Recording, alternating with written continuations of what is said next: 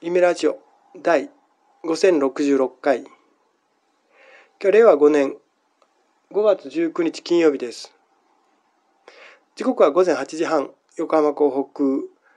金曜の朝空は曇っていますね。ただし窓から吹いてくる風はとっても爽やかですよ。朝の8時半。リスナーの皆さんいかがお過ごしでしょうか？私は夢ラジオです。さて5066回目今回は維新の梅村議員が炎上。こんなタイトルでお話しましょう。梅村さんっていう維新の議員がいるんですけどその人が炎上してますね。参議院です。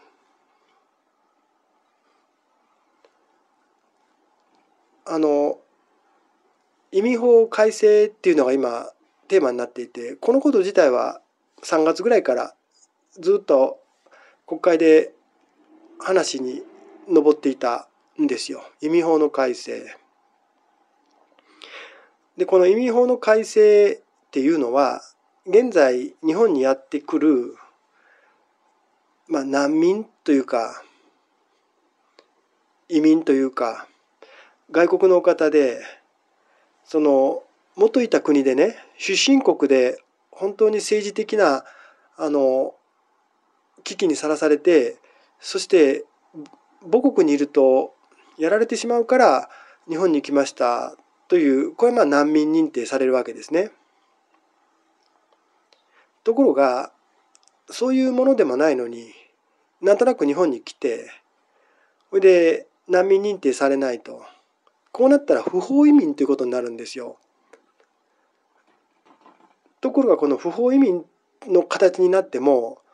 自分は不法移民じゃない自分は不法移民じゃない難民なんだちゃんと権利を認めてくれというふうにこう要求を出せばそのままずっといられちゃうんですね今のままだと。だから何十回もその退去しなさいっていうのにあの抗議を出せばね国から出ていきなさいっていうことに対して抗議を出せばずっといられちゃうというのが今の移民法なんですよ。実際そういう人もなんか4,000人ぐらいいらっしゃるんですね。なんか信じられないんですけど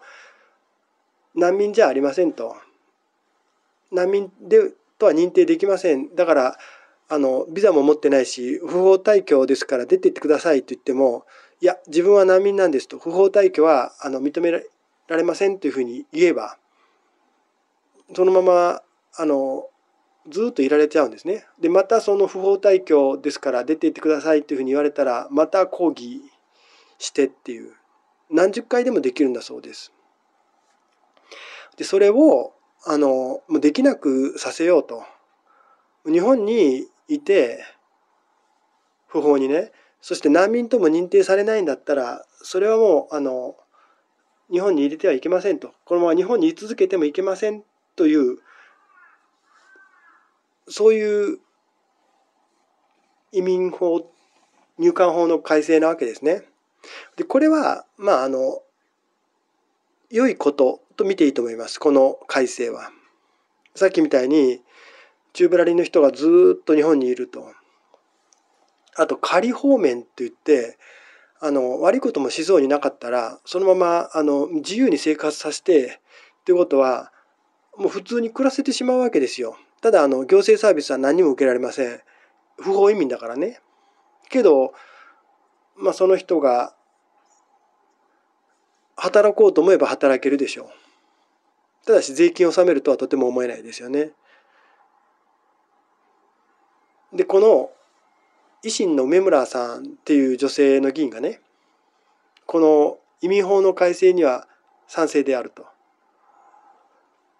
難民と認定されてないんだったらそれは日本に滞在することはできない。ですからこのお方が言ってること自体は正しいとまあ私は思いますね。だって宙ぶらりのままその不法退去や不法滞在だから退去しなさいと言われていや自分は難民なんだと再び申請出せばそのままいられてしまう。仮放免になったら普通に暮らせる。これだと入管法の意味がない。みんな来れてしまう。難民だって言って来てで難民じゃないじゃないかと言われてもいや自分はそうなんですと抗議すればそのままいられるこういうことになっちゃうわけだね。これはまずいでしょ。だからこの移民法をあの改正しようと。入管法ですね。入管法を改正しようというこの動きは正しいし上村さんがその改正は良いことですというふうにのっとってあの発言されたのも正しいんですけどこの方がなんか維新を代表して本会議でねしかも本会議ってみんな聞いてる注目度の高い質疑じゃないですか。そこで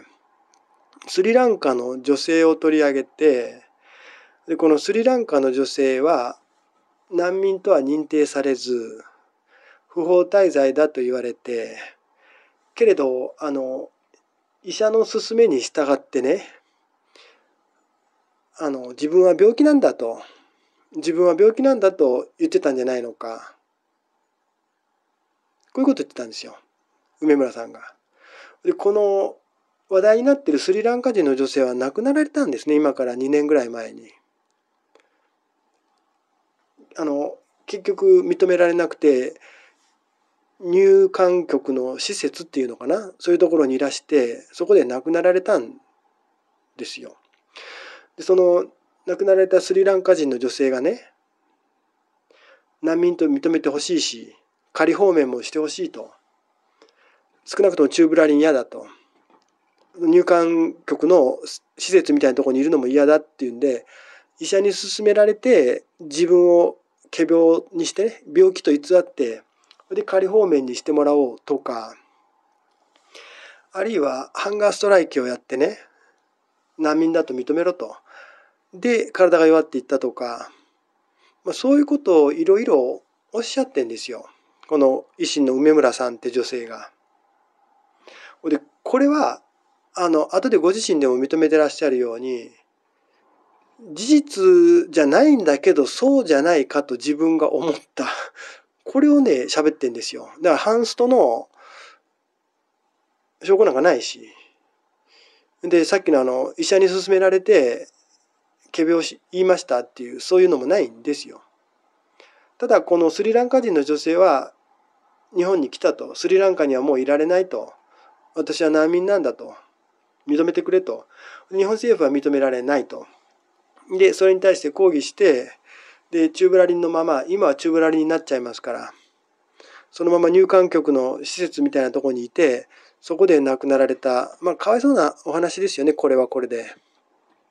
でこういうことが起きないようにこういうチューブラリンのまま亡くなられるっていうことが起きないように入管法は今のままチューブラリンを認めるようなそういうものではなくもっと厳しく改正しましょう。梅村さん言ったことは正しいんですがさっきお話したように別にハンストの証拠もないのにこのスリランカ人の女性がハンガーストライキやってただのあるいはあの医者に勧められて仮病を言った仮病のふりしたっていうけど別にそんなあのないわけですよそんな証拠は。でご自身でも後でですねそんな事実はないけど私が類推しましたとかまあ言ってるわけですよね。類推するのは勝手なんだけど国会でそれ言うかとしかも本会議で言うかっていうそういうことが炎上して当然でですから確認しておくとね梅村さんの言ってることは正しいけどその移民法改正すべきだと今の入管法じゃダメだとその改正するのは正しいんですけど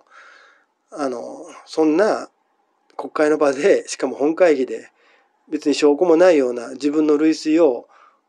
割とまるでねなんかこう見てきたかのように喋ってるんですよこの人なんかあのペラペラペラペラよく喋る女の人であのまずいよそれはね。だ結局維新もあのこの人を法務委員会からは外したようですねあの当たり前ですよ。この本会議での質問をするっていうのは維新としてもエース級を出してくるわけでこの梅村さんって人はさっきも言ったようにペラペラよくお話になる弁の立つ人なんですよ女性で。けどさっきもお話したように推測で物言うのやめろと。思うのは勝手だけどそれ言うなと。しかも国会の場でそれ言うなってことですよね。だからまあ大炎上しててそれは当然なんですよ。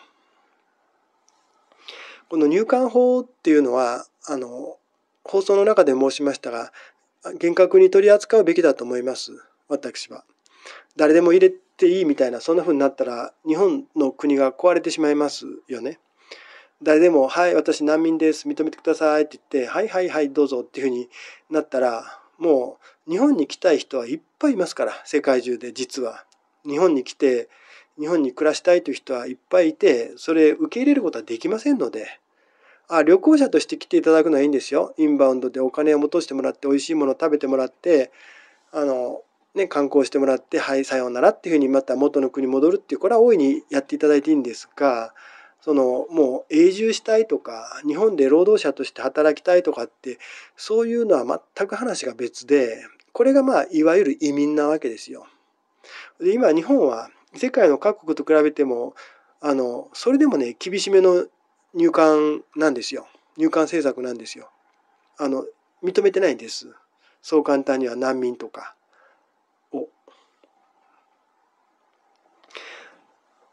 だからそれをもうちょっと厳しくしようとなぜかというと宙ぶらりになっちゃってご本人は宙ぶらりのままずっと日本にいてで仮放免でもされれば日本に暮らしてるけどさっき言ったように行政サービスが何もないからもうあの保険も何もなく生きてるわけなんですよ。これそのその人がその移民がかわいそうだと。だからもっと厳しくしよう。うん、賛成ですね。だから維新の方針なんでしょうか？この移民法改正に賛成っていうのは。維新はなんかこの移民法？あるいは入管法にはなんか割と甘々だったようなつまりあの移民の方々いらっしゃいいらっしゃいみたいな雰囲気が今あるんですけどこの梅村さんが言ってるように移民移民に対して不法移民に対して維新は厳しいんだろうか。ねななんで維新ってなんか新自由主義っぽいからなんか労働者として移民は必要だとかなんか言いそうですよね。競争力を高めるためには移民の力を活用するぞとか、うん、この移民問題入管問題に対する維新の姿勢って聞こえてこないですねあんまりどうなんでしょうか。梅村さん、まあ、議員としての立場をなくすようなそういうものではなく、まあ、ご自身はあくまでも撤回も謝罪もしないとかって頑張ってらっしゃいますけど、まあ、類推で物言うのは良くなかったこれは結論として言えるでしょうね。